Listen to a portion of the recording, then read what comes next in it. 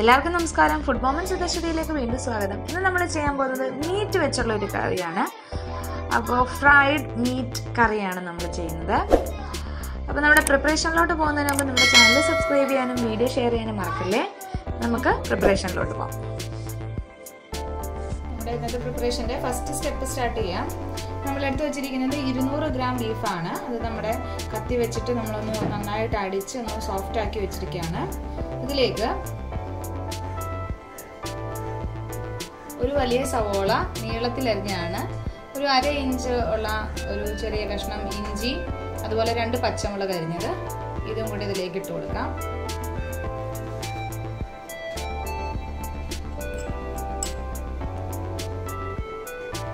ശേഷം ആവശ്യത്തിന് ശേഷം ആവശ്യത്തിന് കറിവേപ്പില. കറിവേപ്പിലയൊക്കെ നിങ്ങളുടെ ഇഷ്ടത്തിനനുസരിച്ച് ഇടാവേ.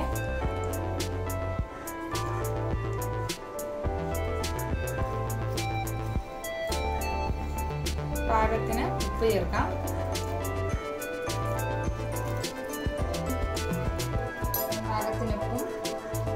വിനാഗിരി. വിനാഗിരി ഒരു ചെറിയ ടീസ്പൂൺ മതി.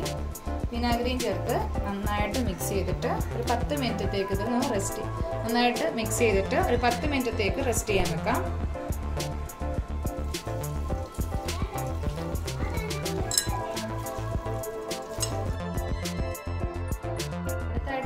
ബീഫിന് വേണ്ടിയിട്ടുള്ള അരപ്പ് റെഡിയാക്കാം. നമ്മൾ എടുത്തു വെച്ചിരിക്കുന്നത് രണ്ട് ചെറിയുള്ളി വെളുത്തുള്ളി രണ്ട് അല്ലി എടുത്തിട്ടുണ്ട്. ഒരു ഇഞ്ച് കഷ്ണം കറുവാപ്പട്ട രണ്ട് ഏലക്ക ഗ്രാമ്പു രണ്ടെണ്ണം. അതുപോലെ തന്നെ മുളക് പൊടി ഒരു ടേബിൾ സ്പൂൺ മല്ലിപ്പൊടി ഒരു ടേബിൾ സ്പൂൺ മഞ്ഞൾപ്പൊടി ഒരു അര ടീസ്പൂൺ അതുപോലെ തന്നെ കുരുമുളക് പൊടി അര ടീസ്പൂൺ. ഇത്രയാണ് എടുത്തിരിക്കുന്നത്. ഇതെല്ലാം കൂടെ നമുക്ക് നന്നായിട്ടൊന്ന് അരച്ച് മിക്സ് ചെയ്തെടുക്കാം. നമ്മൾ നമ്മുടെ ബീഫിന് വേണ്ടിയിട്ടുള്ള മസാലയെല്ലാം അരച്ച് വെച്ചിട്ടുണ്ട്. ബീഫ് പത്ത് മിനിറ്റ് ആയിട്ടുണ്ട്. നമ്മൾ പിന്നെ ഇഞ്ചിയും സവോളയും ഒക്കെ ആയിട്ട് മിക്സ് ചെയ്ത് വെച്ചിട്ട് നമുക്കിനി ഇതൊന്ന് കുക്കറിൽ വേവിച്ചെടുക്കണം.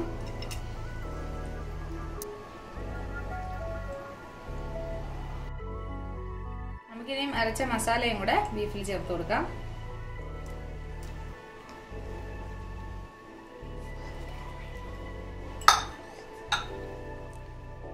നമുക്ക് ഒന്നുകൂടെ ഒന്ന് മിക്സ് ചെയ്തെടുക്കാം ബീഫിന്റെ കൂട്ടത്തിൽ അടുത്തായിട്ട് നമുക്കിതൊന്ന് വേവിച്ചെടുക്കാം. നമ്മൾ തേങ്ങയുടെ രണ്ടാം പാലിലാണ് വേവിച്ചെടുക്കുന്നത്.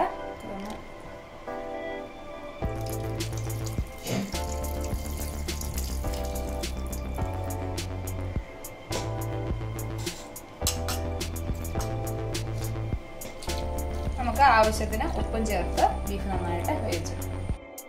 നമുക്ക് നമ്മുടെ ബീഫിന്റെ അടുത്ത സ്റ്റെപ്പിലേക്ക് കിടക്കാം.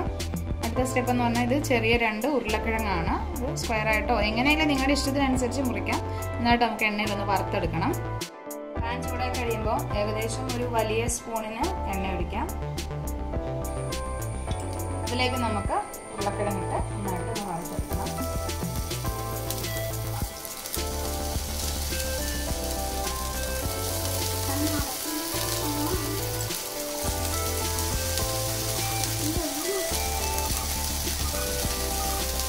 നമുക്ക് നന്നായിട്ടൊന്ന് വറുത്തെടുക്കാം. നമ്മുടെ ഉരുളക്കിഴങ്ങ് നന്നായിട്ട് മൂത്തിട്ടുണ്ട്. നന്നായിട്ട് നമ്മൾ ഫ്രൈ ആക്കി എടുത്തിട്ടുണ്ട്. ഇതിനൊരു പാത്രത്തിലേക്ക് കോരി മാറ്റാം. ബീഫ് നമ്മൾ നന്നായിട്ട് വേവിച്ചെടുത്തിട്ടുണ്ട്. ഇതിനകത്തുനിന്ന് നമ്മൾ ബീഫ് മാത്രം മാറ്റിയിട്ട് ഉരുളക്കിഴങ്ങ് വറുത്ത അതേ എണ്ണയിൽ തന്നെ ബീഫും കൂടെ ഒന്ന് വറുത്ത് കോരി എടുക്കാം. ഈ കുറച്ചിട്ട് വേണം എണ്ണ ഇടാൻ.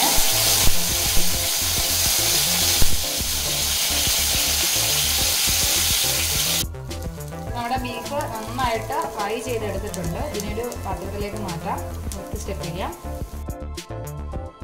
അടുത്ത സ്റ്റെപ്പിലേക്ക് പോവാം. അതായത് പാനിൽ ഇത്തിരി കൂടി എണ്ണ ഒഴിക്കാം. സ്വല്പം എണ്ണ ഒഴിച്ചാൽ മതി.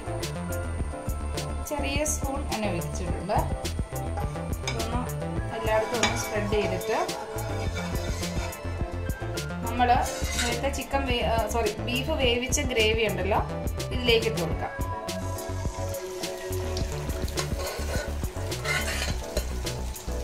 ഇട്ടിട്ട് ഇതിന്റെ കളർ ഒന്ന് മാറി എണ്ണയൊക്കെ നന്നായിട്ടൊന്ന് തെളിഞ്ഞു വരുന്ന ഒരു പരുവാകണം. അതുവരെ നമുക്ക് നന്നായിട്ടൊന്ന് ചൂടാക്കി നമ്മുടെ അരപ്പ് നന്നായിട്ട് ചൂടായിട്ടുണ്ട്. ഇവിടെല്ലാം എണ്ണ തെളിഞ്ഞു തുടങ്ങിയിട്ടുണ്ട്. നിങ്ങൾക്ക് കാണാൻ സാധിക്കുമെന്ന് വിശ്വസിക്കുന്നു.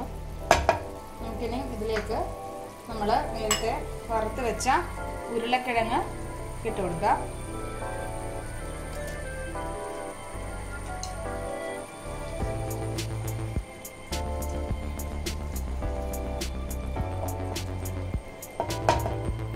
ഉരുളക്കിന്റെ കൂടെ തന്നെ ഉരുളക്കിഴങ്ങിന്റെ കൂടെ തന്നെ നമ്മൾ വറുത്ത് വെച്ച ബീഫും കൂടി ഇട്ട് കൊടുക്കാം.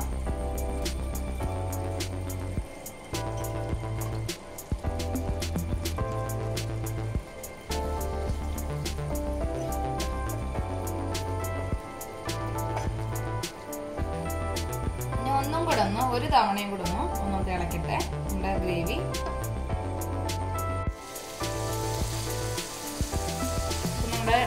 നന്നായിട്ട് തിളച്ചിട്ടുണ്ട്. ഇനി നമുക്ക് ഇതിലേക്ക് നമ്മുടെ തേങ്ങയുടെ ഒന്നാം പാൽ എടുത്തു വെച്ചിരിക്കുന്ന ഒഴിച്ചു കൊടുക്കാം. തീ കുറച്ച് വെച്ചിട്ട് വേണേൽ ഒന്നാം പാൽ ഒഴിക്കാൻ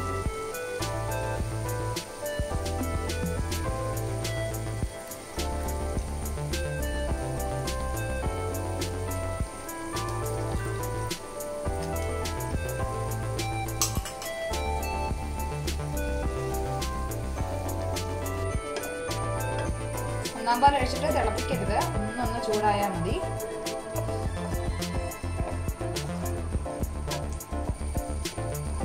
ചൂടായിട്ടുണ്ട്. നമ്മുടെ കറി റെഡി ആയിട്ടുണ്ട്. നമുക്ക് ഇന്നത്തെ പ്ലേറ്റിലേക്ക് മാറ്റാം.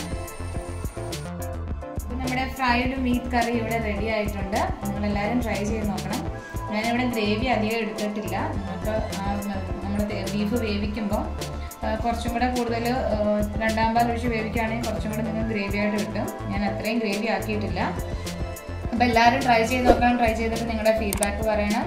അതുപോലെ തന്നെ ആദ്യമായിട്ടാണ് നമ്മുടെ ചാനൽ കാണുന്നത് ചാനൽ സബ്സ്ക്രൈബ് ചെയ്യാൻ മറക്കല്ലേ. അപ്പോൾ അടുത്ത ദിവസം പുതിയൊരു ഡിഷായിട്ട് കാണുന്നവരെ എല്ലാവർക്കും ബൈ